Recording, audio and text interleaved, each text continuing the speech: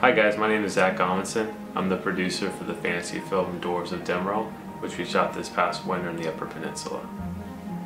Due to a number of scheduling conflicts, we were unfortunately forced to shoot this past winter in January, which as you can imagine created a lot of logistical concerns because of the snow. We shot the film in its entirety at the Adventure Mine, which is a quarter mile off the main road. We had to find creative solutions to get our cast, crew, and equipment from the trailers below up into the mine on set.